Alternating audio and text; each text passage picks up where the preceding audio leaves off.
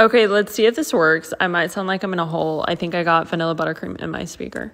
But it is a dark chocolate cake with Oreo cream cheese frosting and vanilla buttercream on the outside. I did six layers of cake. I wanted to make sure it was tall enough because it was a double.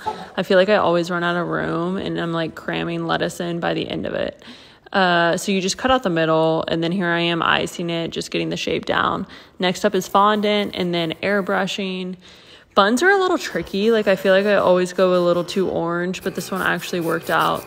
The fries I'm airbrushing as well. I made sure to make them a little more brown to look like the In-N-Out fries.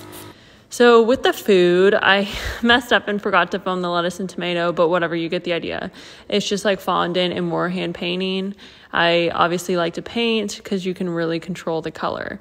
And yeah, so the side by side is pretty satisfying. That's it. We're done. I also added ketchup and the wrapper and stuff like that.